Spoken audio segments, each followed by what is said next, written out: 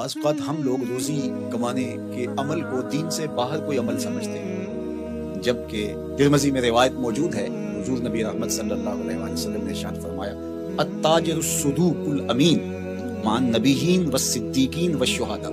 सच्चा ताजर जो अमानतदार है, वो नबियों के साथ, सिद्दीकों के साथ और शहीदों के साथ होगा। और जो मेहनत मजदूरी करके कमाता है अलका से वो हबीब जो कसब करता है, मेहनत करता है, मजदूरी करता है कितना बड़ा एजाज है कि अल्लाह का हबीब करा